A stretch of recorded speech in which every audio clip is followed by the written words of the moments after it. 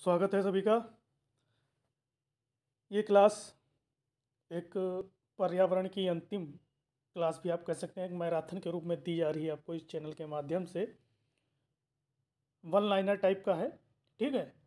ये बहुत इम्पोर्टेंट प्रश्न है, जो इस वीडियो के माध्यम से आपको मिलने वाले हैं। अगर आपने ईवीएस यानी पर्यावरण अध्ययन यूपीटेट के लिए नहीं देखा है तो इस वीडियो को ज़रूर देखिएगा, ठीक है? और बहुत इम्पोर्टेंट प्रश्न है तो ज़रूर कोशिश करिए कि इसे आप पूरा देखें।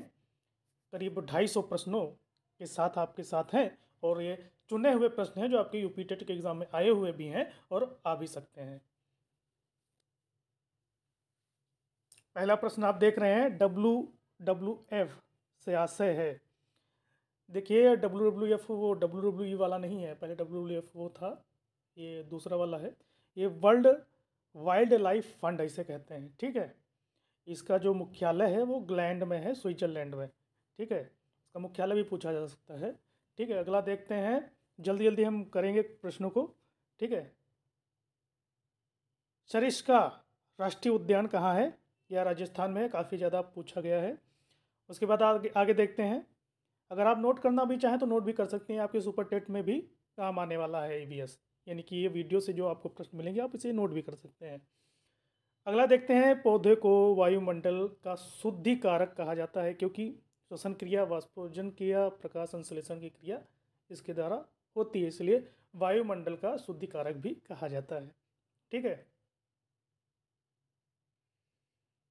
अगला प्रश्न, फूलों की घाटी कहा जाता है तो फूलों की घाटी उत्तराखंड में है, इसलिए फूलों की घाटी उत्तराखंड को कहा जाता है। ठीक है? अगला प्रश्न, अब टेंशन ना लें। टेंशन ना लें। इसमें सारे आपको प्रश्न मिलेंगे जो विभिन्न तरह के आप सोच सकते हैं कि पूछे जाएँगे। वो सारे प्रश्न आपको इसमें मिलने वाले हैं। तो ध्यानपूर्वक सुनते रहिए। अगर नोट भी नहीं कर आप सुनते रहिए बस। ठीक है? अगला है, वन्य जीव सुरक्षा अधिनियम पारित हुआ उन्नीस सौ बहत्तर में। ठीक है? उन्नीस सौ बहत्तर में वन्य जीव सुरक्षा अधिनियम।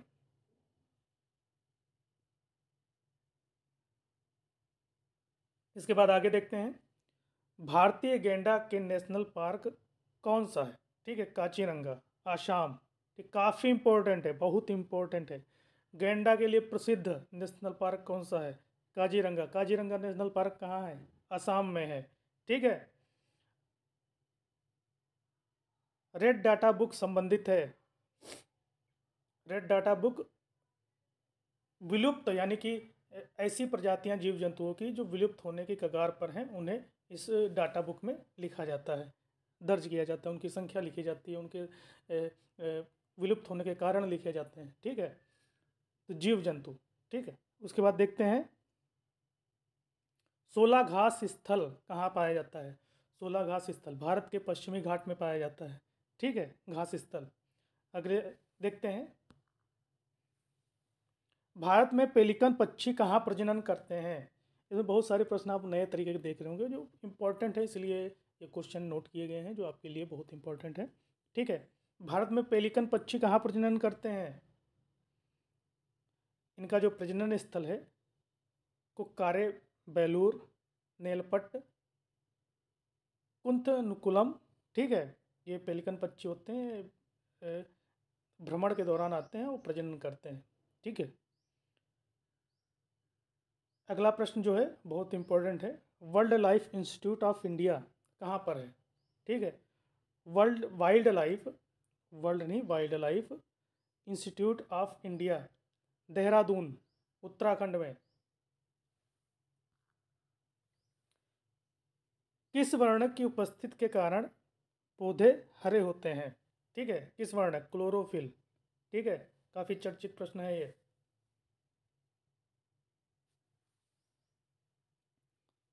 प्रश्न नंबर बारह। पर्यावरण संरक्षण अधिनियम कब बनाया गया? उन्नीस सौ छियासी में, इसका तत्कालिक कारण उन्नीस सौ चौरासी में, भोपाल त्रासदी। ठीक है? तेरहवा प्रश्न। दुधवा राष्ट्रीय उद्यान उत्तर प्रदेश के किस ज़िले में है? लखीमपुर, खीरी। ठीक है, बहुत इंपॉर्टेंट है। अगर उत्तर प्रदेश से कोई प्रश्न अगर पूछा जा सकता है तो ये बहुत इंपॉर्टेंट प्रश्न है। ठीक है, एकमात्र राष्ट्रीय उद्यान है। अगला प्रश्न, केंद्रीय नियंत्रण प्रदूषण बोर्ड की स्थापना कब हुई? उन्नीस सौ चौहत्तर में। पंद्रहवा क्वेश्चन पेरियार राष्ट्रीय उद्यान किस राज्य में है? केरल में। ठीक है, पेरियार।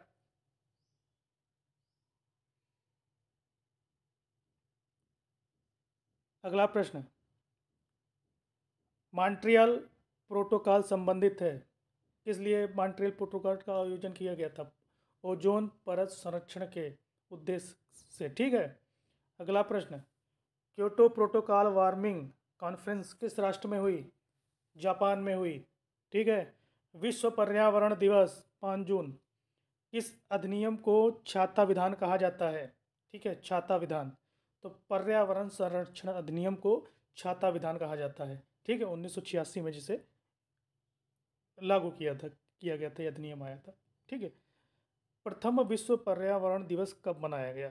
ठीक है, उन्नीस सौ तिहत्तर में सदस्य देशों द्वारा मनाया गया, ठीक है, फिर उन्नीस सौ चौहत्तर में इसे विश्व द्वारा मनाया गया, ठीक है तो प्रथम पर्यावरण दिवस उन्नीस सौ तिहत्तर में सदस्य देशों द्वारा, ये सभी देशों द्वारा ये उन्नीस सौ चौहत्तर में मनाया गया। विश्व वानिकी दिवस 21 मार्च, विश्व पर्यावरण दिवस 2 जून और विश्व वानिकी दिवस 21 मार्च, इंपॉर्टेंट है, ठीक है उसके बाद देखिए, अखबार में कौन सा विषैला तत्व होता है? ठीक है, लेड होता है, जो अखबार में विषैला तत्व होता है। ठीक है, अगला प्रश्न, भारत में क्षेत्रफल की दृष्टि से सर्वाधिक वन किस राज्य में है? तो वह मध्य प्रदेश में है। अगर हम प्रतिशत की बात करते हैं तो अरुणाचल प्रदेश, ठीक है, भारत में।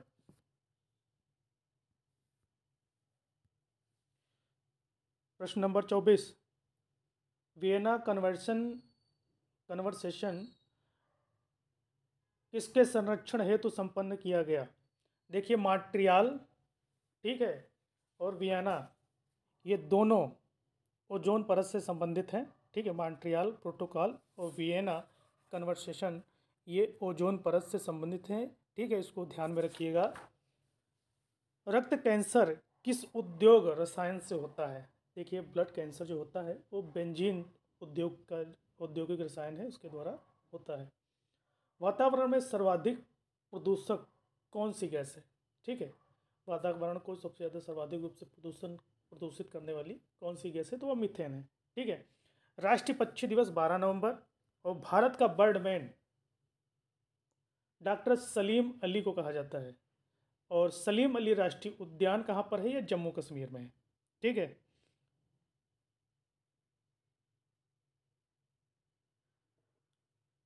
तीस नंबर देखते हैं। कोटोपैक्सी, ज्वालामुखी कहाँ स्थित है? कोटोपैक्सी, इक्वाडोर में, ठीक है? अब कोटोपैक्सी को आप इस तरह देख सकते हैं। देखिए, कोटोपैक्सी में का आधा है ना? और इक्वाडोर में भी का आधा है, ठीक? इससे आप एक टिक के द्वारा समझ सकते हैं कोटोपैक्सी इक्वाडोर में, ठीक है? उसके बाद देखते हैं ओजोन संरक्षण दिवस 16 सितंबर, और मैंने बताया था कौन सा जो सम्मेलन था, जो ओजोन परत संरक्षण संबंधित था, वो था वियना और मॉन्ट्रियल प्रोटोकॉल ठीक है? इसको थोड़ा समझने की कोशिश करिए। भारत का सबसे बड़ा पक्षी उद्यान कहाँ है? भरतपुर, राजस्थान में। केंद्रीय पक्षी शोध संस्थान इज़्ज़त नगर बरेली, उत्तर प्रदेश। ठीक है? पक्षियों को अध्ययन के, पक्षियों के अध्ययन को क्या कहा जाता है? और इथिलोलॉजी, ठीक है? पक्षियों के अध्ययन को कहा जाता है। सेरिकल्चर संबंधित है रेशम उद्योग से। भारत के सबसे प्राचीन पर्वत श्रेणी, कौन सी सबसे प्राचीन पर्वत श्रेणियों में से अरावली की पर्वत श्रेणी जो है, भारत में सबसे प्राचीन पर्वत श्रेणी कहा जाता है, ठीक है? नाथुला दर्रा किस राज्य से संबंधित है? नाथुला दर्रा ये सिक्किम राज्य, ठीक है, सिक्किम राज्य।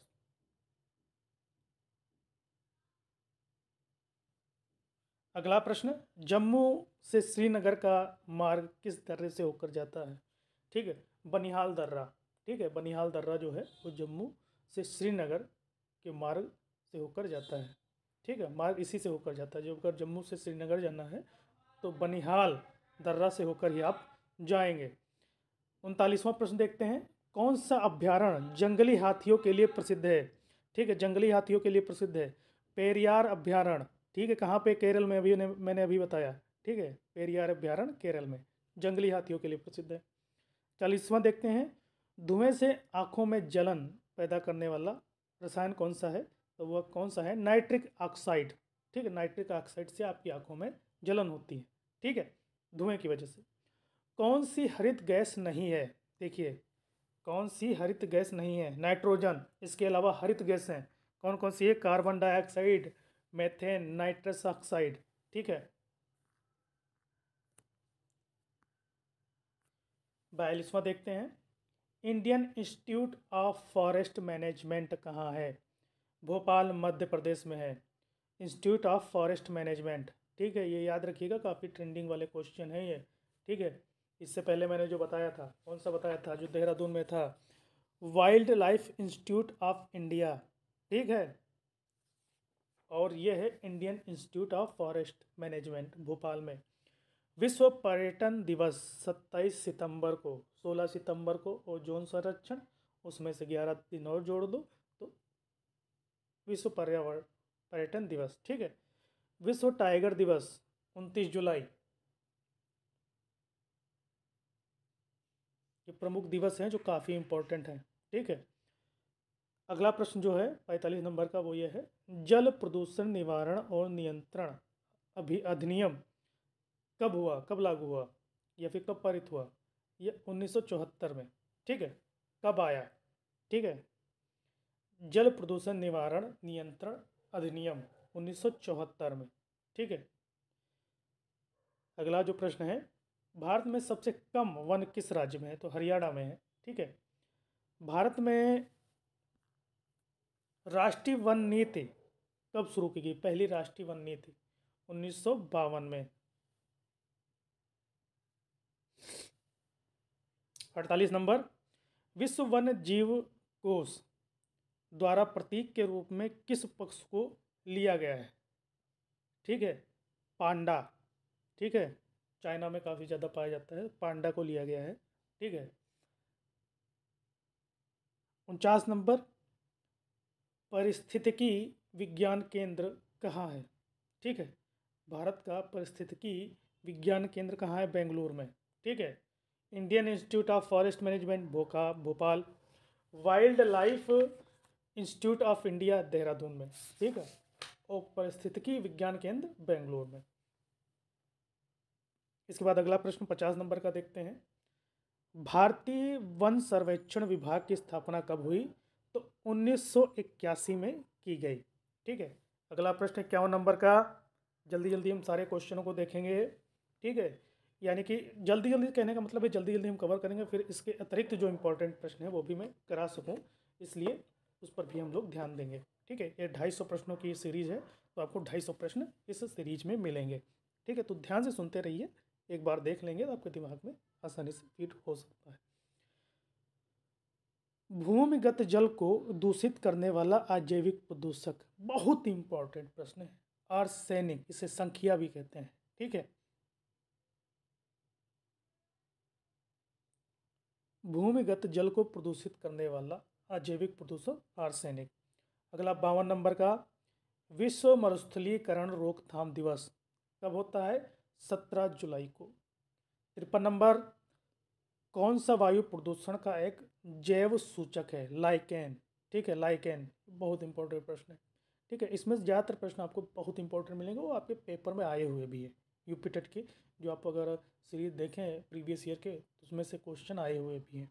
ठीक है, चौवन नंबर देखते हैं, किसे वैश्विक विरासत का वन माना जाता है? सुंदर वन कहाँ पे है? ये पश्चिम बंगाल में ठीक है? और आपके बांग्लादेश में भी पड़ते हैं। पचपन नंबर, भारत में वन महोत्सव दिवस कब मनाया जाता है? एक जुलाई को। छप्पन नंबर, सुंदरवन में कौन सा वृक्ष सर्वाधिक पाया जाता है? सुंदरवन में, ठीक है? इसे वैश्विक विरासत भी कहते हैं, वैश्विक विरासत वाला वन भी कहते हैं, और सुंदरवन में सुंदरी वृक्ष। काफ़ी ज़्यादा मिलता है, इसलिए सुंदरवन कहा जाता है। अगला प्रश्न जो है, पारंपरिक ऊर्जा का एक उदाहरण है। ठीक है, नाभिकीय ऊर्जा। ठीक है।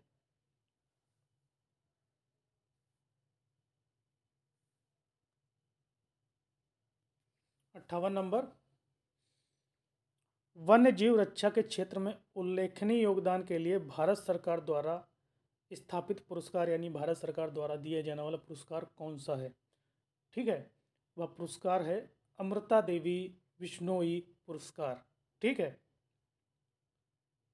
अगला प्रश्न जो है फिफ्टी नाइन की बात करें। पृथ्वी की सतह से सबसे दूर वातावरण की परत को क्या कहते हैं? वायुमंडल। ठीक है, वायुमंडल कहा जाता है। ठीक है, पृथ्वी की सतह से सबसे दूर।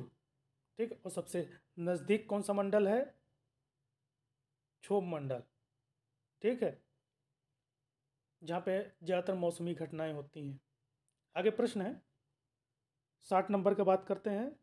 राष्ट्रीय पर्यावरण अभियांत्रिकी अनुसंधान संस्था कहाँ पर है? राष्ट्रीय पर्यावरण अभियांत्रिकी अनुसंधान संस्थान नागपुर में है।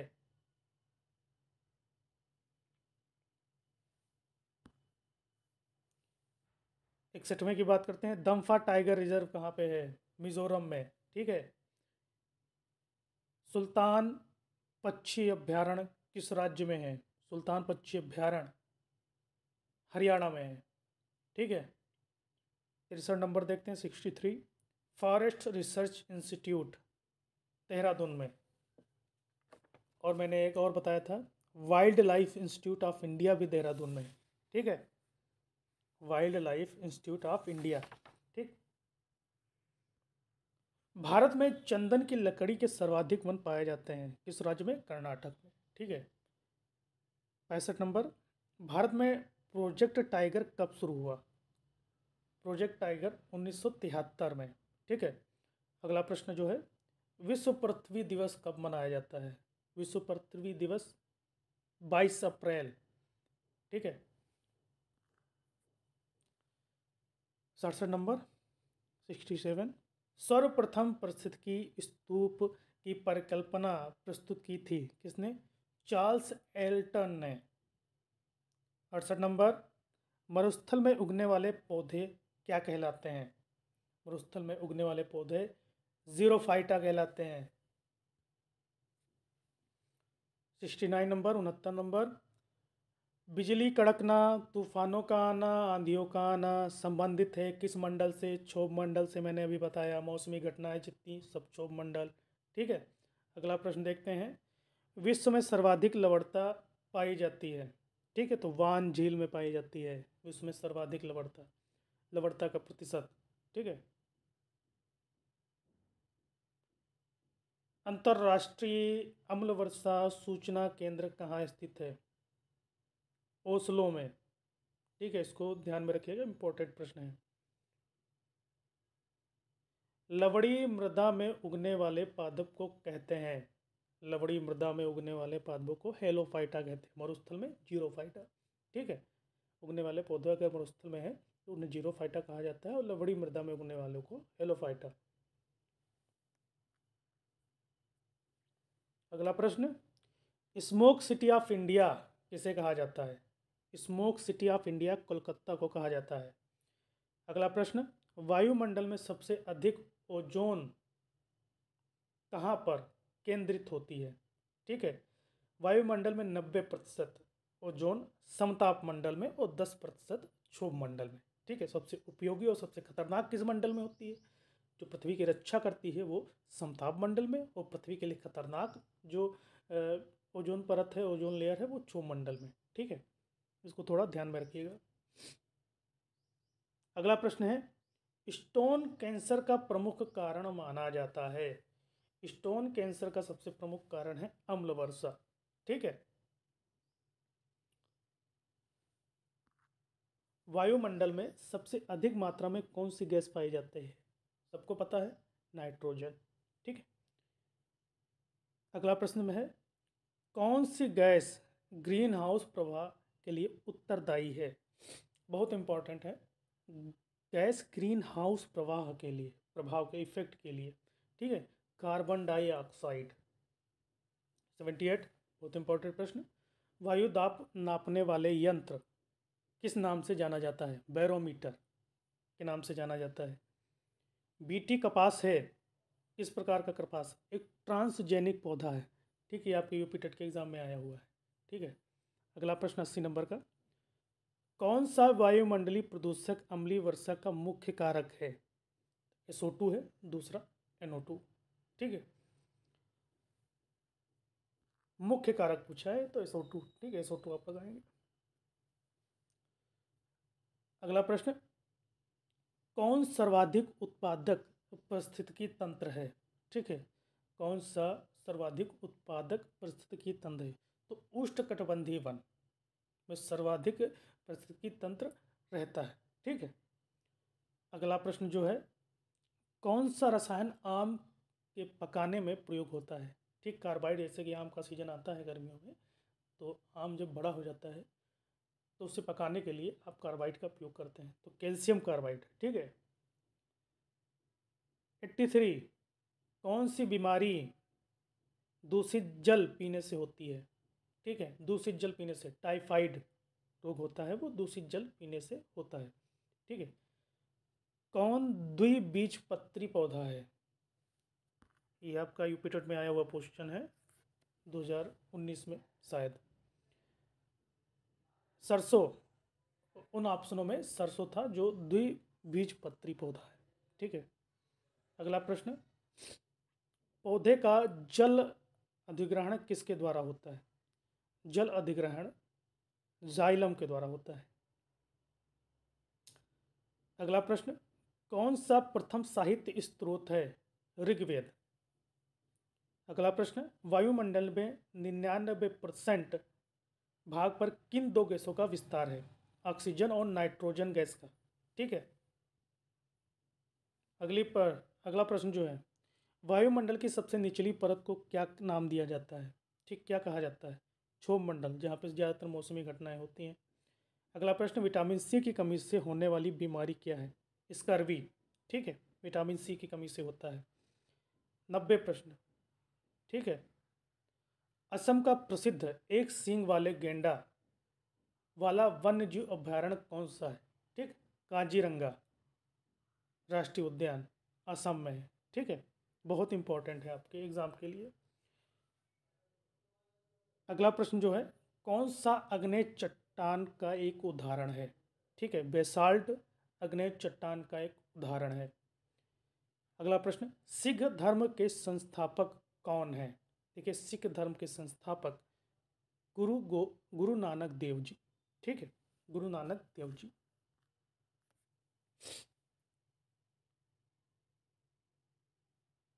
अगला प्रश्न, तिरानबे नाइन्टी थ्री पृथ्वी के वातावरण की किस सतह में ओजोन परत पाई जाती है? देखिए, स्ट्रेटोस्फियर यानी समताप मंडल, ठीक है? इसका इंग्लिश भी रूपांतरण आपको दे सकते हैं, जो मंडल ना देकर। स्ट्रेटोस्फियर यानी समताप मंडल, ठीक है, जो हिंदी के नामकरण है, उनकी जगह आप इंग्लिश के नाम भी दे सकते हैं, ठीक है, इसको थोड़ा ध्यान में रखिएगा। अगला प्रश्न, भूकंप की तीव्रता मापने वाला यंत्र भूकंप की तीव्रता नापने वाला यंत्र, शिश्मोग्राफ। ठीक है? शिश्मोग्राफ। अगला प्रश्न, दक्षिणी गोलार्ध का सबसे लंबा दिन किस दिन को माना जाता है? एक बाईस दिसंबर को। ठीक है? बाईस दिसंबर को। और उत्तरी गोलार्ध का किसको माना जाता है? इक्कीस जून को माना जाता है। अगला प्रश्न, सत्यार्थ प्रकाश के लेखक कौन है? ठीक है? स्वामी दयानंद सरस्वती। बिहू भारत के किस राज्य का लोक नृत्य है? तो बिहू आसाम का लोक नृत्य माना जाता है, ठीक है? नाइन्टी एट, खाद्य श्रृंखला के परस्पर समूह को क्या कहा जाता है? खाद्य श्रृंखला के समूह को खाद्य जाल कहा जाता है। निन्यानबे कुनैन नामक दवाई प्राप्त होती है। तो कुनैन नाम की दवाई सिनकोना के पौधे से प्राप्त होती है, ठीक है? सौ नंबर वाला देखते हैं। प्रक्रिया जिसके द्वारा पौधे प्रजनन करते हैं कहलाती है परागरण। परागण, ठीक है, परागरण ही परागण, ठीक है। 101 नंबर का प्रश्न देखते हैं। पर्यावरण किसी जीव का चारों ओर घिरे भौतिक एवं जैविक दशाएँ एवं उनके साथ अंतः क्रिया को सम्मिलित करता है, यह परिभाषा क्या है? यह पर्यावरण की परिभाषा है, ठीक है। पर्यावरण किसी जीव के चारों ओर घिरे भौतिक एवं जैविक दशाओं एवं उनके साथ अंतः क्रिया करने वालों को सम्मिलित करता है। ठीक है? यह परिभाषा जो है, यह पर्यावरण संरक्षण अधिनियम उन्नीस सौ छियासी में दी गई थी। यह पर्यावरण की है। ठीक है? 102 नंबर, भारत में परिस्थितिकी के जन्मदाता किसे कहा जाता है? रामदेव मिश्र। ठीक है? परिस्थितिकी शब्द का सर्वप्रथम प्रयोग किया। ठीक है, बहुत इंपॉर्टेंट प्रश्न। ये दोनों 102 103 नंबर दोनों इंपॉर्टेंट है। ठीक है, इसके अलावा जो अन्य क्वेश्चन में, ये भी बहुत इंपॉर्टेंट है। परिस्थितिकी शब्द का सर्वप्रथम प्रयोग अर्नस्ट हैकल ने किया, जिन्हें परिस्थिति का पिता भी कहा जाता है। और परिस्थितिकी तंत्र का शब्द का जो प्रयोग है, ये एजी टांसले ने किया। ठीक है, परिस्थितिकी तब, शब्द का प्रयोग हैकल, जिन्हें पृथ्वी का पिता भी कहा जाता है, और तंत्र जोड़ा वो टांसले ने जोड़ा जोड़ा, ठीक है। पर्यावरण का भौतिक संगठक नहीं है सूक्ष्म जीव जो है, पर्या, भौतिक संगठक नहीं है, पर्यावरण।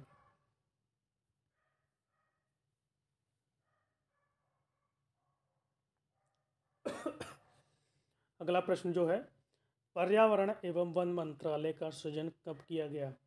उन्नीस सौ पचासी में, तब हमारे तत्कालिक जो प्रधानमंत्री थे, राजीव गांधी जी थे, ठीक है? अगला प्रश्न जो है वन्य जीव संरक्षण अधिनियम उन्नीस सौ बहत्तर किसके शासनकाल में प्रारंभ किया गया था? तो उस समय भारतीय प्रधानमंत्री इंदिरा गांधी जी थी, ठीक है? पर्यावरण को विकास की किस पंचवर्षीय योजना के साथ जोड़ा गया था? देखिए, चौथी पंचवर्षीय योजना में पर्यावरण के विकास को जोड़ा गया था, ठीक है? आदि मानव की भौतिक पर्यावरण की कार्यात्मकता को में भूमिका किस प्रकार की थी? यानी कि आदि मानव, यानी कि पुराने समय का जो मानव था वह भौतिक पर्यावरण में उसकी कार्यात्मकता, यानी कार्य करने की भूमिका किस प्रकार से? पाता दाता मानव के रूप में थी, ठीक है? 110 नंबर, मनुष्य के लिए सर्वाधिक कार्यक्षम तापमान, ठीक है?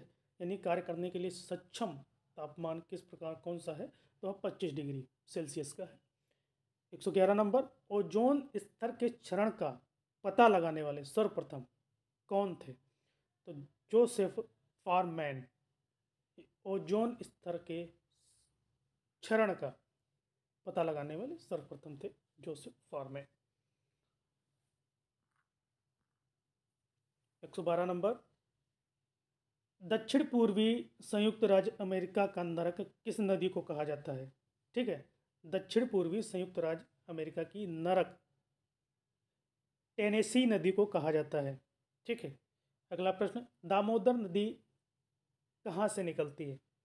छोटा नागपुर पठार से निकलती है और इसे बंगाल का शोक कहा जाता है। ठीक है,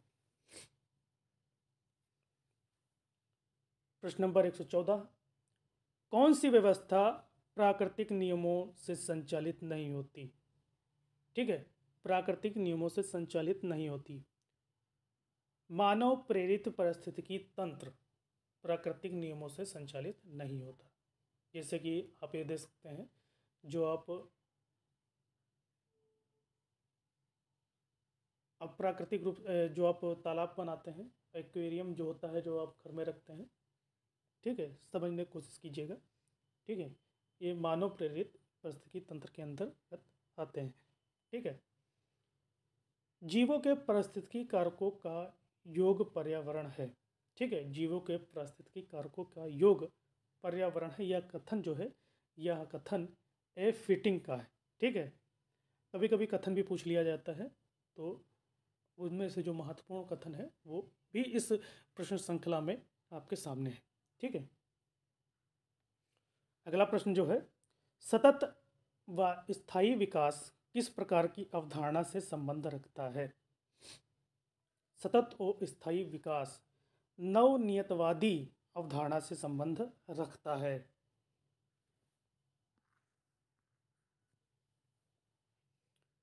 पर्यावरण एक अविभाज्य, समिष्ट है, जिसकी रचना होती है।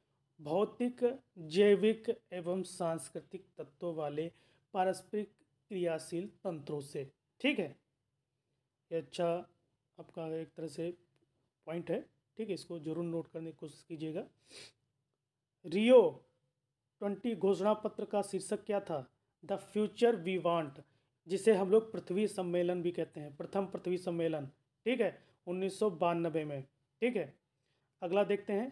पृथ्वी सम्मेलन प्लस पाँच आयोजित किया गया था। देखिए जो उन्नीस सौ बानबे में पहला पृथ्वी सम्मेलन था, उसमें पाँच प्लस कर दीजिए तो उन्नीस सौ सत्तानवे में इस पृथ्वी सम्मेलन प्लस पाँच को क्योटो प्रोटोकॉल भी कहते हैं, ठीक है? चाहे पृथ्वी सम्मेलन पाँच कहे उन्नीस सौ सत्तानबे में और क्योटो प्रोटोकॉल भी कहे, वो भी उन्नीस में। करंट का क्वेश्चन है, कौन सा सतत विकास लक्ष्य भारत में 2030 तक सभी के लिए पानी की उपलब्धता और इसके स्थायी प्रबंध को लक्षित करेगा। एस डी जी सिक्स, यानी कि सतत विकास लक्ष्य छः जो स्वच्छ जल और स्वच्छता के अंतर्गत सभी को स्वच्छ पानी उपलब्ध कराएगा। यह 2030 का लक्ष्य रखा गया है। मानव गतिविधियों से परावर्तित पर्यावरण कहलाता है। मानव की गतिविधियों से जो पर्यावरण परिवर्तित होता है उसे कहते हैं एंथ्रोपोजेनिक पर्यावरण। ठीक है? अगला प्रश्न जो है सामान्यतः पर्यावरण को निम्न प्रकार से वर्गित किया जाता है। ठीक है? सामान्यतः पर्यावरण को जैविक पर्यावरण भौतिक पर्यावरण और सांस्कृतिक पर्यावरण के रूप में वर्गीकृत किया जाता है। ठीक है? अगला प्रश्न जो है आ, कौन सा सरोवर या झील के लिए तेज़ी से वृद्धि करता है, यानी कि तेज़ी से वृद्धि करता है, जल्दी से फैलता है उनमें। जलकुंभी ठीक है, जिसे जल स्वच्छ करने का प्राकृतिक साधन भी कहा जाता है। 124 नंबर, कवक और सेवाल में से, में कैसा संबंध है? ठीक है, कवक और सेवाल के बीच सहजीवी संबंध है, ठीक है, और कवक और सेवाल के बीच कुड़ी को लाइकेन भी कहते हैं, ठीक है, इसको थोड़ा समझने की कोशिश कीजिएगा। 125 नंबर वन के पेड़ों की छालों पर उगे होते हैं और निकलते हैं कौन होते हैं? लाइकेन। ठीक है? अगला प्रश्न, घास स्थलीय परितंत्र में संख्या का पिरामिड कैसा होता है? जो घास स्थलीय परितंत्र होता है, उसमें पिरामिड कैसा होता है? सीधा होता है। ठीक है, पिरामिड सीधा होता है। ये प्रश्न बहुत इंपॉर्टेंट है। परितंत्र में ऊर्जा का पिरामिड कैसा होता है? ये भी सीधा होता है। घास का स्थलीय परितंत्र का पिरामिड, ये भी सीधा परितंत्र में ऊर्जा का पिरामिड, ये भी सीधा आगे देखते हैं। एक तालाब में परितंत्र में जीव भार या फिर जैव भार का पिरामिड कैसा होता है, ये उल्टा होता है। ठीक है जैव भार या फिर कह सकते हैं जीव भार का पिरामिड उल्टा होता है। अगला प्रश्न, खाद्य जाल में ऊर्जा का प्रवाह होता है एक दिशीय ठीक है, एक दिशा में, एक दिशात्मक, ठीक है, खाद्य जाल का प्रवाह होता है। इसे खाद्य श्रृंखला भी आप कह सकते हैं, ठीक है। 2001 से 2011 के मध्य भारत में भारत में जो दशकीय जनसंख्या की वृद्धि हुई, वह कितने प्रतिशत थी? वो सत्रह दशमलव सात प्रतिशत, ठीक है? अगला प्रश्न जो है, प्रकृति के संतुलन को बनाए रखने के लिए पृथ्वी के कितने प्रतिशत भाग पर वन होना आवश्यक है? देखिए, पृथ्वी के तैंतीस भाग, तैंतीस परसेंट भाग पर वन होना आवश्यक है और प्रत्येक देश में तैंतीस परसेंट वन होना आवश्यक है, ठीक है? अगला प्रश्न जो है, बनेर घाट राष्ट्रीय पार्क तितलियों के संरक्षण के लिए प्रसिद्ध है। यह किस राज्य में स्थित है? तो कर्नाटक राज्य में स्थित है। लेकिन तितलियों के लिए कौन सा संरक्षण राष्ट्रीय पार्क है? तो बनेर घाट राष्ट्रीय पार्क। ठीक है, इसको याद रखिएगा। अगला प्रश्न, सरदार सरोवर बाँध किस नदी पर बनाया गया है? नर्मदा नदी पर। ठीक है, नर्मदा नदी पर। ठीक है। अगला प्रश्न विश्व में सर्वाधिक कोयला उत्पादन किस देश में है? ठीक है, सर्वाधिक, चीन में, ठीक है। अगला प्रश्न, काला सोना या फिर तरल सोना किसे कहा जाता है? पेट्रोलियम को कहा जाता है। किसे कृत्रिम ऊन कहा जाता है? कृत्रिम ऊन, इकलिक को कृत्रिम ऊन कहा जाता है। हमारी आकाश गंगा जो है, उसका आकार कैसा है? तो सर्पिल, ठीक है, सर्पिल। ठीक है? भीम संघ का संबंध, भीम संघ का संबंध किससे है, किस राज्य से है? कर्नाटक। ठीक है? अगला प्रश्न जो है, पाचन प्रक्रिया के विषय में किसने खोज की थी? ठीक है, पाचन प्रक्रिया की खोज किसने की थी? William Beaumont. ठीक है? William Beaumont. अगला प्रश्न जो है, मशरूम किसका उदाहरण है? मशरूम एक तरह का कवक होता है। ठीक है? कवक का उदाहरण है। ठीक है? अगला प्रश्न। जिम कार्बेट राष्ट्रीय उद्यान किस वर्ष स्थापित किया गया? तो 1936 में इसका नाम भी बदला गया है। शायद रामगंगा राष्ट्रीय उद्यान के करने की मंजूरी मिली है। ठीक है? इसको थोड़ा ध्यान में रखिएगा। कार्बन क्रेडिट की संकल्पना संबंधित है क्योटो प्रोटोकॉल, जिसे पृथ्वी सम्मेलन पाँच भी कहते हैं। ठीक है? अगला प्रश्न जो है, उसे देखते हैं। एगमार्क, जो कृषि उत्पाद की गुणवत्ता के लिए जारी किया जाता है। यह एक्ट किस वर्ष जारी किया गया? उन्नीस सौ सैंतीस में एक मार्क जारी किया गया। ठीक है, ये जो एक्ट था। ठीक है, अगला प्रश्न है, किसे जैविक मरुस्थल की संज्ञा प्रदान की गई है? दामोदर नदी को जैविक मरुस्थल, इसे बंगाल का शोक भी कहते हैं। ठीक है, इसे याद रखिएगा, दो तरह के प्रश्न आ सकते हैं। अगला प्रश्न है, विश्व बाघ शिखर सम्मेलन आयोजित किया गया था। प्रथम विश्व बाघ शिखर सम्मेलन पीटर्सबर्ग में, ठीक है? अगला प्रश्न, भारत में, भारत का प्रथम जैविक राज्य कौन सा है? सिक्किम सिक्किम है भारत का पहला प्रथम जैविक राज्य। अगला प्रश्न है, जीवाणु द्वारा होने वाले प्रमुख रोग, प्लेग, टिटनेस, निमोनिया, ठीक है? आदि, ये बहुत इंपॉर्टेंट है। इसमें पूछ लिया जाएगा प्लेग जो है रोग किसके द्वारा होता है? जीवाणु के द्वारा होता है। टिटनेस भी जीवाणु के द्वारा होता है। निमोनिया भी जीवाणु के द्वारा होता है। अगला प्रश्न देखते हैं, एक सौ अड़तालीस नंबर। वर्णांधता में किस रंग की पहचान नहीं हो पाती है? लाल और हरा रंग जो होता है, वो वर्णांधता में इन दो रंगों की पहचान नहीं हो पाती है। अगला प्रश्न जो है 1945 में कैबिनेट मिशन में मुस्लिम लीग के सदस्य थे। यह जोगेंद्र नाथ मंडल, ठीक है, जो मुस्लिम लीग के सदस्य थे, इसको याद रखिएगा, ठीक है। 150 नंबर 150 द रिवर्स ऑफ़ इम्पेरिमल इम्पीरियल की संज्ञा प्रदान की जाती है, किसे?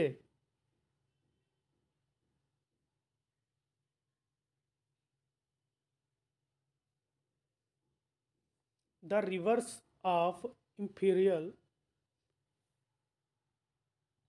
यह संख्या विलुप्त नदी, ठीक है, को प्रदान की जाती है। अगला प्रश्न है, वरुण ग्रह की खोज किसने की थी? तो वरुण ग्रह की खोज जोहान गाले ने, ठीक है। अगला प्रश्न है, हिमालय क्षेत्र, हॉट स्पॉट का कितना प्रतिशत भारत में पाया जाता है? हिमालय का क्षेत्र जो हॉट हॉट स्पॉट के अंतर्गत भारत में आता है, वो चवालीस दशमलव चार प्रतिशत है। और भारत में जो हॉट स्पॉट का क्षेत्र है, वो इस प्रकार है। हिमालय क्षेत्र है, चार प्रकार के पाए जाते हैं। हिमालय क्षेत्र है, वो चौवालीस दशमलव चार प्रतिशत है। इंडो वर्मा क्षेत्र जो है पचास परसेंट है। पश्चिमी घाट है वह चौंसठ दशमलव नौ प्रतिशत है। और सुंडा लैंड एक दशमलव अट्ठाईस प्रतिशत है। इस प्रकार सबसे ज़्यादा हॉटस्पॉट प्रतिशत भारत में पश्चिमी घाट का है, जो चौंसठ दशमलव नौ प्रतिशत है। और सबसे कम सुंडा लैंड का है, एक दशमलव अट्ठाईस प्रतिशत। ठीक है? अगला प्रश्न देखते हैं। किसी भी परिस्थिति तंत्र में सर्वोच्च पोषण प्राप्त करता कहलाते हैं। ठीक है? सर्वोच्च पोषण। ठीक है? अपघटक। ठीक है? अपघटक।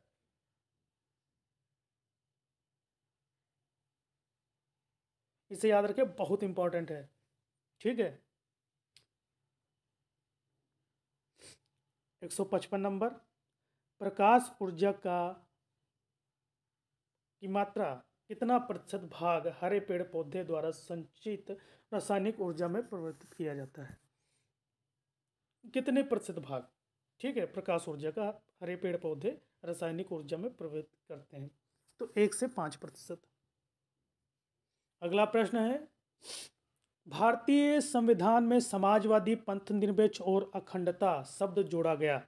तो यह बयालीसवां संविधान संशोधन उन्नीस सौ छिहत्तर में, ठीक है? जब पहली भारतीय राष्ट्र राष्ट्रीय वन नीति बनी उन्नीस सौ बावन में, तब वन एवं वन्य जीव संरक्षण जो था वह राज्य सूची का विषय था, लेकिन बयालीसवें संविधान संशोधन में इसे समवर्ती सूची में डाल दिया गया, ठीक है? ये बहुत इंपॉर्टेंट है। और बयालीसवें संविधान संशोधन को एक हम कह सकते हैं कि एक छोटा संविधान, मिनी संविधान भी कहा जाता है, ठीक? अगला प्रश्न है, जम्मू द्वीप का जनसंख्या के आधार पर प्रथम स्थान है। जम्बू द्वीप कहते हैं एशिया को, ठीक है? जनसंख्या और क्षेत्रफल दोनों में पहला स्थान है, ठीक है? अगला देखते हैं।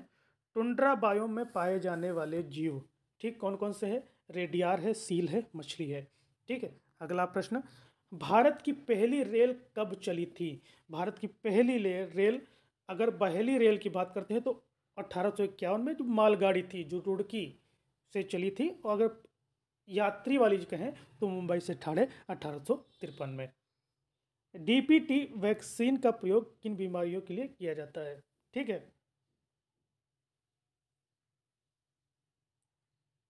देखिए डीपीटी डिपिथीरिया, काली खांसी और टिटनेस के लिए। ठीक है। प्रमुख इस्पात संयंत्र हैं। इनमें देखते हैं, भिलाई इस्पात संयंत्र छत्तीसगढ़ में है राउर केला उड़ीसा में है, दुर्गापुर इस्पात संयंत्र ये पश्चिम बंगाल में है विश्वेश्वरैया स्टील कारखाना जो है या फिर स्टील संयंत्र ये कर्नाटक में है। ठीक है? इसको थोड़ा आप ये ए, बहुत इम्पोर्टेंट है ये ये संयंत्र और इनके स्थान। ठीक है? इनको देखते रहिएगा। अगला प्रश्न है सल्फ़र डाइऑक्साइड उत्तरदायी है अम्ल वर्षा के लिए। ठीक है? स्टोन कैंसर भी अम्ल वर्षा की वजह से होता है। ठीक है? अगला प्रश्न है, दम घोटू गैस किसे कहा जाता है? ज़्यादातर लोग कार्बन डाइऑक्साइड लगा के आ जाते हैं, ठीक है? दम घोटू गैस को कहा जाता है कार्बन मोनोऑक्साइड को, ठीक है? अगला प्रश्न जो है ग्रीन हाउस प्रवाह, प्रभाव गैस कौन कौन सी है? कार्बन डाइऑक्साइड और जलवाष्प, ठीक, मुख्य रूप से कार्बन डाइऑक्साइड ठीक है? अगला प्रश्न देखते हैं नाइट्रोजन के ऑक्साइड ठीक है? नाइट्रोजन की कमी से नाइट्रोजन के ऑक्साइड की कमी से निमोनिया रोग होता है। ठीक है? ये भी आप देखेंगे। और नाइट्रोजन के ऑक्साइड या एनओ टू जलवाष्प से क्रिया करके नाइट्रिक अम्ल बनाते हैं, जो अम्ल वर्षा के लिए उत्तरदायी होता है। ठीक है? और अम्ल वर्षा के लिए मुख्य रूप से एसओ टू ठीक है? जलवाप से क्रिया करेंगे तो सल्फ्यूरिक एसिड बनाता है और एनओ टू जलवाप से क्रिया करेगा तो एच एन ओ थ्री बनाएगा। ये दोनों अम्ल वर्षा के लिए उत्तरदायी रहते हैं। अगला प्रश्न देखते हैं। ग्रीन गोल्ड क्रांति का संबंध ग्रीन गोल्ड क्रांति का संबंध है चाय उत्पादन से। ठीक है?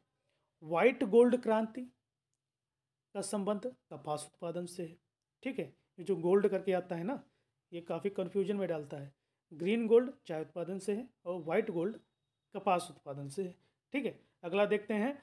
पराबैंगनी कीड़ों में सब, में से कौन सी अत्यधिक हानिकारक किरण है? ठीक है? पराबैंगनी किरणों में अल्ट्रा वायलेट किरण जो होती है सी वो बहुत हानिकारक है, ठीक है? ओजोन परत द्वारा सर्वाधिक अवशोषित की जाने वाली किरण है यूवी सी अल्ट्रा वायलेट किरण जो है सी ठीक है? ये दोनों पराबैंगनी की सबसे हानिकारक भी और ओजोन परत के द्वारा सबसे ज़्यादा अवशोषित की जाने वाली भी किरण अल्ट्रावायलेट वेव्स सी है, ठीक है? अगला प्रश्न देखते हैं।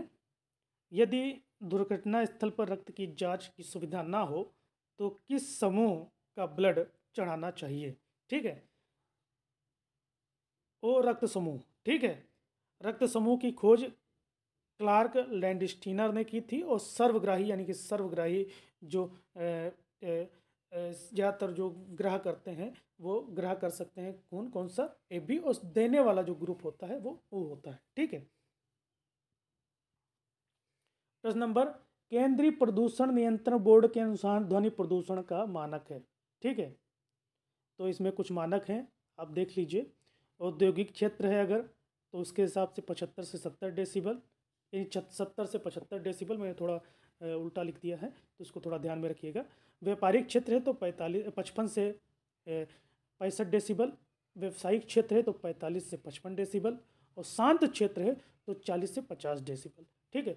भारत में सामान्य ध्वनि मानक जो है, वो पैंतालीस से साठ डेसिबल का है। और फुसफुसाहट के लिए ध्वनि का जो जो ध्वनि है, उसका मानक जो रहता है वो बीस डेसिबल रहता है। ठीक है? अगला प्रश्न देखते हैं। नंदा देवी चोटी प्रसिद्ध है, फूलों के लिए। ठीक है? नंदा देवी राष्ट्रीय उद्यान। ठीक है? फूलों की विभिन्न प्रजातियों के लिए। ठीक है? इसलिए फूलों की घाटी उत्तराखंड को कहा जाता है। ठीक है? इसको थोड़ा ध्यान में रखिएगा।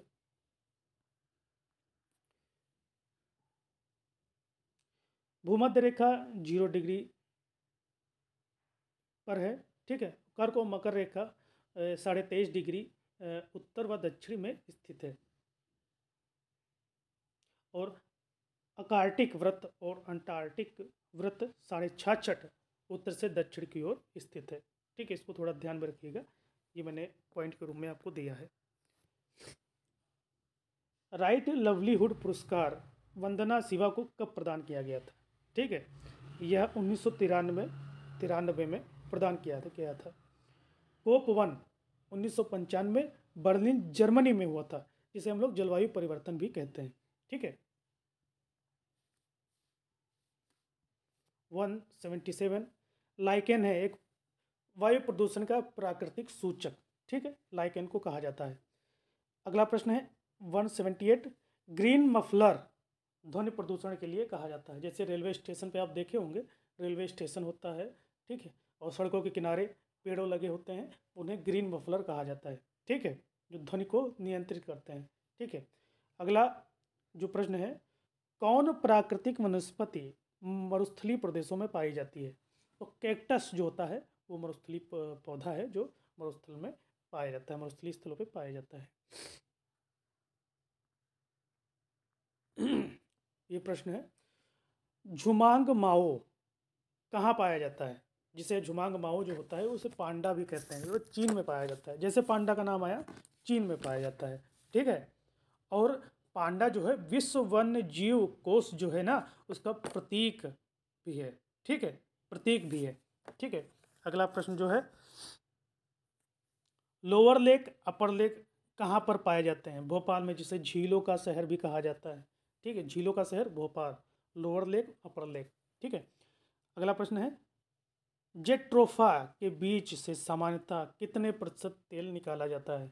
ठीक है, पच्चीस से तीस प्रतिशत बायोडीजल के निर्माण में इसका काम आता है, ठीक है, जिसे रतन ज्योत भी कहते हैं जेफ्ट्रॉप को, ठीक है, जेट्रोफा को, ठीक है। अगला प्रश्न जो है,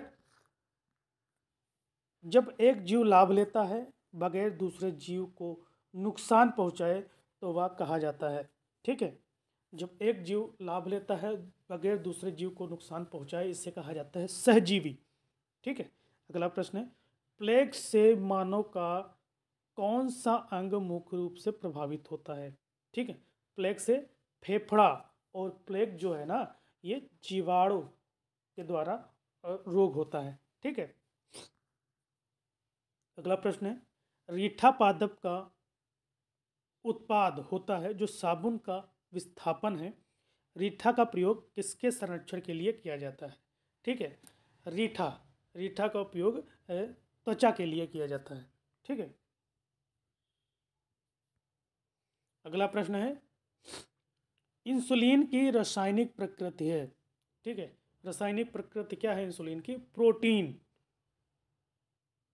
अगला प्रश्न, कारकीय रूप से शुष्क मिट्टी की क्या विशेषता है? मिट्टी में लवण सांद्रता अधिक होती है। यही शुष्क मिट्टी की विशेषता है। लवण सांद्रता अधिक होती है शुष्क मिट्टी में। अगला प्रश्न जो है, भारत में कृषि को प्रभावित करने वाला मौसम का सबसे महत्वपूर्ण कारक है। वर्षा दिया होगा, वृष्टि दिया होगा, ये दोनों एक होते हैं, ठीक है? वृष्टि, वर्षा, कृषि को प्रभावित करने वाले मुख्य होते हैं। अगर वर्षा ना हो ना तो आप फ़सल लगाएँगे, सब सूख जाएगी। तापमान का भी प्रभाव रहता है, लेकिन नहीं, लेकिन मुख्य रूप से वर्षा का प्रभाव रहता है। ठीक है? सबसे विनाशकारी तरंग मानी जाती है एल तरंग, जो जिसे भूतलीय पृथ्वी के ऊपर भी कहते हैं। ठीक है? भूतली तरंग भी कहा जाता है इसे ठीक है? अगला एक सौ नब्बे ज्वालामुखी दिया है और उसका स्थान दिया है। मैंने कहा था कटोपैक्सी आधा का है उस इक्वाडोर में भी आधा का है ठीक है? मोनालोआ हवाई द्वीप पर स्थित है ज्वालामुखी।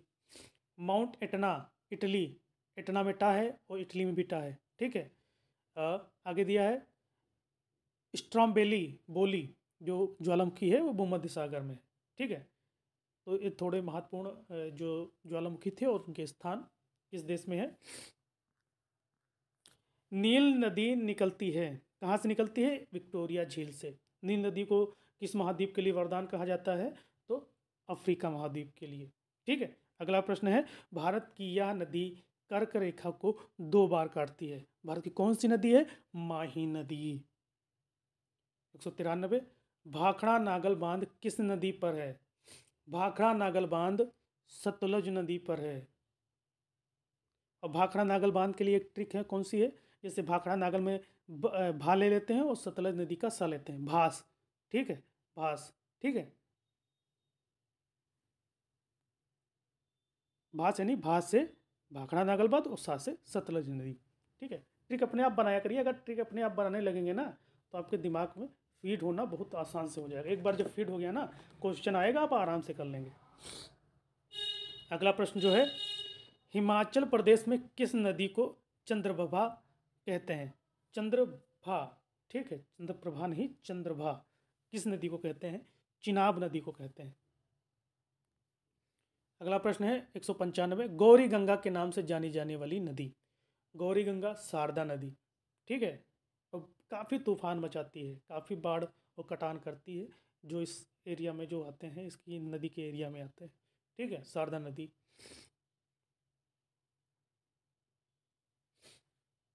अगला प्रश्न है, पलार नदी कहाँ गिरती है बंगाल की खाड़ी में? ठीक है, पलार नदी। ठीक है, ये बंगाल खाड़ी में गिरने वाली नदियाँ, अरब सागर में गिरने वाली नदियाँ, हिमालय से निकलने वाली नदियाँ। ठीक है, ये नदियों के बारे में मैंने बताया हुआ है। अगर आप वीडियो मेरा देख सकते हैं तो आप देखिएगा। ठीक है?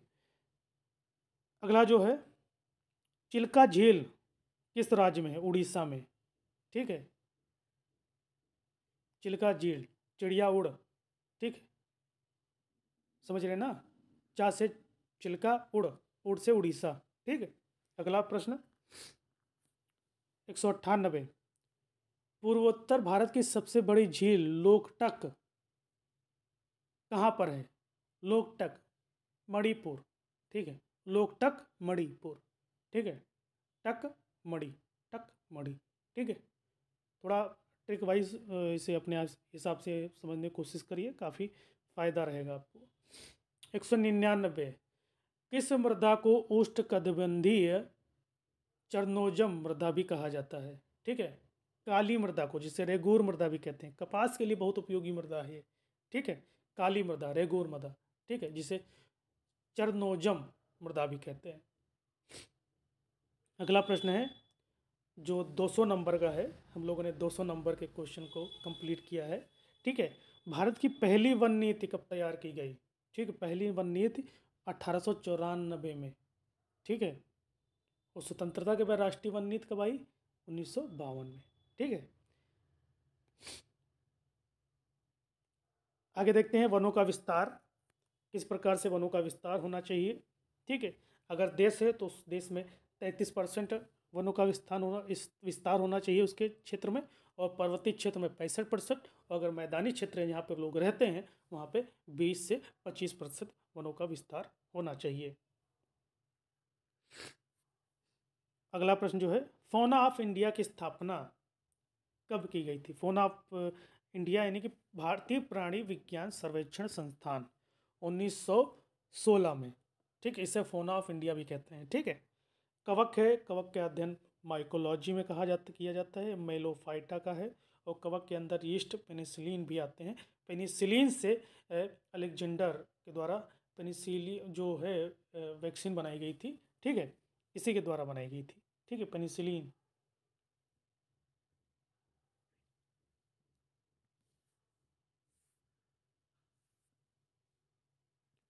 अगला प्रश्न जो है, कौन सा एक सत्य फल नहीं है?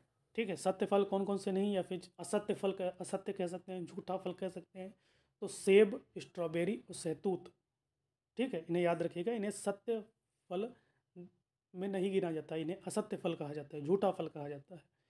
ठीक है, अगला देखते हैं, हेलोस गैस कौन कौन सी हैं? तो क्लोरोफ्लोरोकार्बन और एच एफ़ सी ठीक है ये दो गैस हैं जिन्हें हेलोस गैस कहते हैं, ठीक है? अगला प्रश्न देखते हैं। नाइट्रोजन स्त्रीकरण में कौन भाग नहीं लेता है? ठीक है, कौन भाग नहीं लेता? ईस्ट भाग नहीं लेता है, ठीक है? जीवाणु कवक भाग लेते हैं, ठीक है? अगला प्रश्न है। मुख्य रूप से जीवाणु भाग लेते हैं। आगे देखते हैं। नाइट्रोजनीकरण, ठीक है? तो नाइट्रोजन पौधे जो है, यौगिक के रूप में ग्रहण करते हैं, वो कौन कौन से हैं? नाइट्रेट के रूप में एनओ के रूप में और एन के रूप में। क्वेश्चन पूछा जाता है कि नाइट्रोजन पौधे किस रूप में ग्रहण करते हैं? तो यौगिक के रूप में करते हैं। और नाइट्रोजन स्थिरीकरण के लिए साइनोबैक्टीरियम होता है, जिसे सोपोसी भी कह सकते हैं हम लोग, और जीवाणु, ठीक है? साइनोबैक्टीरियम जैसे नीर, हरित सहवाल नोस्टक, एनाबीना, ठीक है? और जीवाणु में राइजोबियम स्ट्रीडियम और एजोबैक्टर। ठीक है? एजोबैक्टर जैव उर्वरक भी कहते हैं और राइजोबियम ये ज़्यादातर दालों की जड़ों में ये ज़्यादा होते हैं। ठीक है? तो नाइट्रोजन स्थिरीकरण के लिए दाल दालों में होते हैं। ठीक है? दालों की जड़ों में। ठीक है?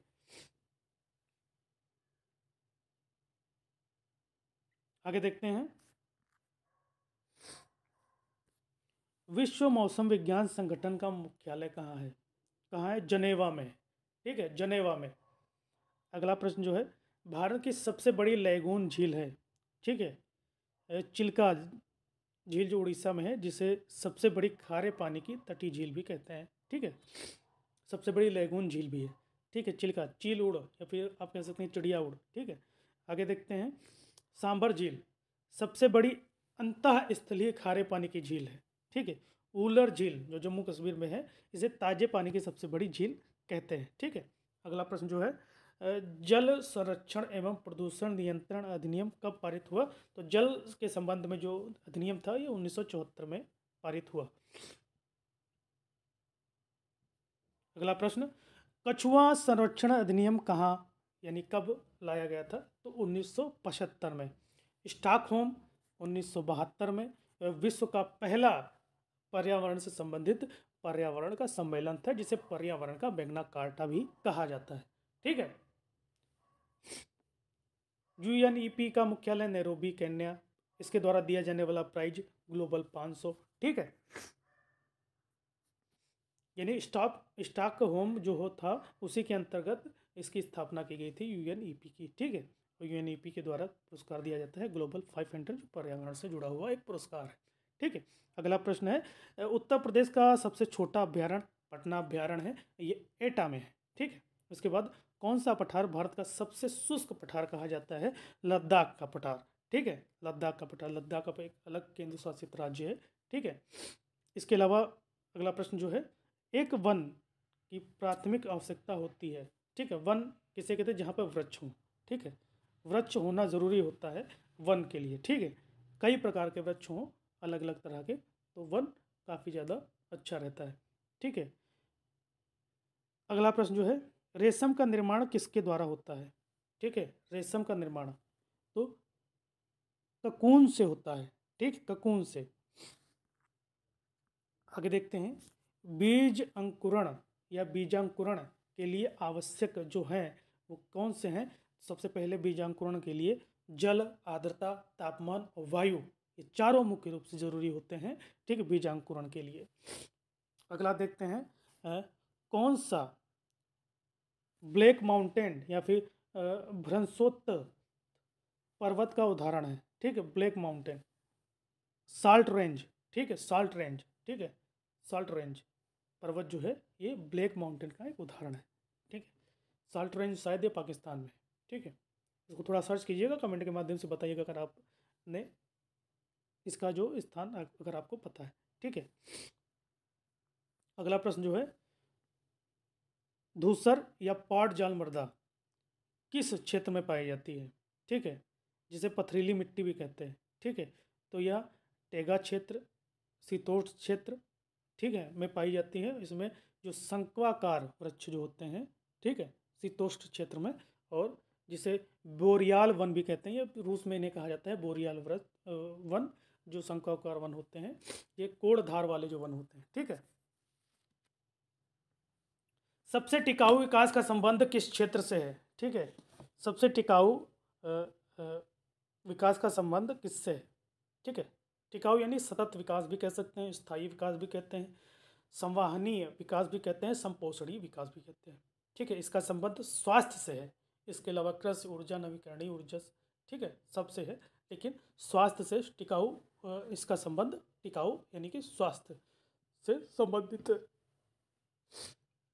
अगला प्रश्न है, जैवमंडल आरक्षित क्षेत्र के किस भाग में शोध एवं प्रशिक्षण का कार्य संपन्न किया जाता है? ठीक है, जैवमंडल आरक्षित क्षेत्र के किस भाग में? तो देखिए, बफर क्षेत्र जो होता है, वहाँ पे शोध एवं प्रशिक्षण कार्य संपन्न किया जाता है जैवमंडल के आरक्षित क्षेत्र में। ठीक है, अगला देखते हैं 224 नंबर नीलगिरी जैवमंडल आरक्षित क्षेत्र का विस्तार है। कहाँ है? केरल, कर्नाटक और तमिलनाडु। ठीक है तीनों जो राज्य हैं एक दूसरे से सटे हुए हैं। ठीक है? अगला प्रश्न है, कैलाश संखाल किस नाम से जाने जाते हैं? ठीक है, Kailash Sankhala tiger man of India के नाम से जाने जाते हैं। यानी कि tiger of man of India किसे कहा जाता है? तो कैलाश संखाल ठीक है, आगे देखते हैं। हिम तेंदुआ को संकटग्रस्त श्रेणी में कब घोषित किया गया गया, किया गया था? ठीक है तो उन्नीस सौ बहत्तर में और हिमचीता परियोजना उन्नीस सौ सतासी में लाई गई थी। झूम खेती पर रोग लगाने वाला अधिनियम कब आया था? तो उन्नीस सौ छिहत्तर में आया था। ठीक है, वर्तमान समय में भारत में कुल वनों का आकार कितने प्रतिशत है? तो 2019 की रिपोर्ट के अनुसार भारत में चौबीस दशमलव छप्पन प्रतिशत। ठीक है, इसके अलावा देखते हैं। आयुसीएन 1948 में घटित हुआ और इसका जो मुख्यालय है वह ग्लैंड में है और डब्ल्यू एफ़ एफ़ उन्नीस सौ इकसठ में गठित हुआ था, इसका मुख्यालय भी ग्लैंड में है, ठीक है? और ग्लैंड स्विट्जरलैंड में आई एम ओ का गठन 1950 में हुआ, जिसका मुख्यालय जनेवा में है, ठीक है? इसको थोड़ा अब ध्यान से समझने की कोशिश करिए। देखिए, नाइट्रेट की वजह से ब्लू बेबी सिंड्रोम रोग होता है, सीसा की वजह से एनीमिया होता है, आयोडीन की कमी से घेंगा रोग होता है कैडनियम की वजह से इटाइटाई रोग होता है और आर्सेनिक की वजह से त्वचा का कैंसर होता है। ठीक ये बहुत इंपॉर्टेंट है यूपी टेट के एग्ज़ाम के लिए तो, तो इन पर थोड़ा ध्यान से समझने की कोशिश कीजिएगा। आगे देखते हैं। समेकित कीट प्रबंधन राष्ट्रीय उद्यान कहाँ पर है? नई दिल्ली में ठीक है नई दिल्ली में है। ठीक है अगला देखते हैं। नैनो यूरिया इफ्को कहाँ पर है? ये नैनो यूरिया जो है इफ्को से संबंधित है। इन्होंने नैनो यूरिया की खोज की है। ठीक है? आगे देखते हैं। देश की प्रथम नदी झील जोड़ो परियोजना केन बेतवा नदी लिंक के रूप में कब प्रारंभ हुई? यानी कि देश की पहली योजना जो झील को जोड़ो परियोजना है, जिसमें केन बेतवा नदी को लिंक के रूप में प्रारंभ किया गया, ये 2005 में। ठीक है? अगला प्रश्न देखते हैं। देश के अट्ठानबे परसेंट सोना का उत्पादन किस राज्य में होता है? देखिए कोलार, कर्नाटक, ठीक है? भारत में अट्ठानवे प्रतिशत सोना का उत्पादन कर्नाटक में होता है। इसके अलावा देखते हैं अगला, भारत में राष्ट्रीय ताप विद्युत निगम की स्थापना कब की गई? देखिए 1975 में की गई थी राष्ट्रीय, जिसे एन भी कहते हैं, राष्ट्रीय ताप विद्युत निगम की।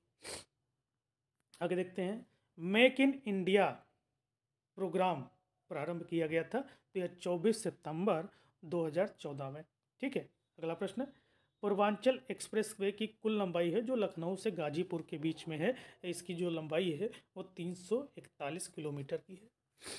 भारत में वायु परिवहन कब प्रारंभ किया गया था? तो 1911 में।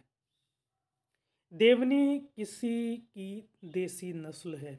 देवनी गाय की देसी नस्ल है। ठीक है, अगला प्रश्न है। मौसम के दृष्टिकोण से उष्णकटिबंधीय प्रदेश का प्रमुख लक्षण है। ठीक है? उष्णकटिबंधीय। देखिए वर्ष भर गर्मी रहना। ठीक है? वर्षा, दैनिक वर्षा, ठीक है? ये भी क्षेत्र रहता है, वर्षा होती है। ठीक है? अगला प्रश्न जो है, हमारे शरीर के किस अंग द्वारा अमोनिया को यूरिया में परिवर्तित किया जाता है? यकृत के द्वारा। ठीक है? अगला प्रश्न, एक स्तर से दूसरे स्तर पर ऊर्जा को कितना हास होता है? ठीक है? एक स्तर से दूसरे स्तर पर यह लिंडमैन ने 1942 में बताया था कि एक स्तर से दूसरे स्तर में ऊर्जा का हास कितना होता है।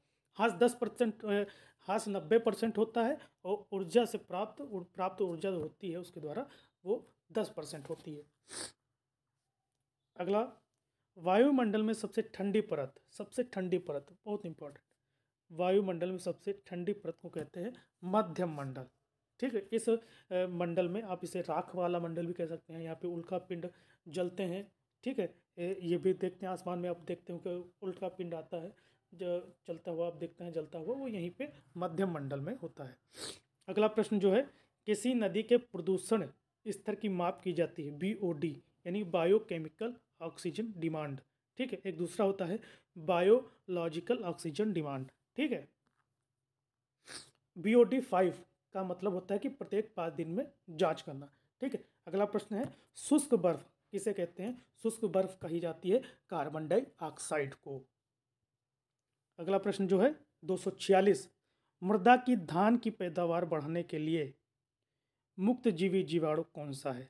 ठीक है तो एनाबीना एजोला, ठीक है, एनाबीना एजोला जो है, वो धान की पैदावार बढ़ाने के लिए एक मुक्त जीवी है, जीवी जीवाणु है, ठीक है? अगला प्रश्न देखते हैं। मूल ग्रंथियाँ, यानी रूट नूडल्स पाई जाती हैं। किसमें पाई जाती है? तो कुछ लेगुमिनस पौध, पादपों में और कुछ अन्य पौधों में। ठीक है? आगे देखते हैं। नाइट्रोजन युगीकरण में कौन सी फ़सल सहायक है? कौन सी फ़सल सहायक है? तो वह है फली। ठीक है? जो कि ल्यूगिमिनस पौधे का एक उदाहरण है। ठीक है? अगला देखते हैं। एक सौ उनचास नंबर। जीवाणुओं को पौधा माना जाता है क्योंकि इनमें कठोर कोशिका भित्त होती है, यानी कोशिका भित्त पाई जाती है। ठीक है, जीवाणुओं में कोशिका भित्त कवक की कोशिका भित्त को काइटीन कहते हैं, सेवाल की कोशिका भित्त को पिचिन कहते हैं और जीवाणु की कोशिका भित्त जो होती है, मुकोपेक्टिडाइड और पिप्टो और डाइग्लोइन ठीक है, ये आपका 150 नंबर का क्वेश्चन था। एक एक गोल जीवाणु कहलाता है, ठीक है? गोल जीवाणु को कहते हैं कोकस, ठीक है? ये आपके डेढ़ सौ क्वेश्चन थे जो मैंने आपको कराए। आप इन्हीं के द्वारा आप तैयार करिएगा, ठीक है? पढ़ लीजिए, एक बार देख लीजिए, आपको ज़्यादा से ज़्यादा क्वेश्चन आपके कवर किए हो जाएँगे, ठीक है? और कोशिश करिए कि आपका पेपर अच्छा तरीके से आप करने की कोशिश करें, ठीक है? वीडियो कैसा लगा ज़रूर कमेंट के माध्यम से बताइएगा। जय हिंद, जय भारत।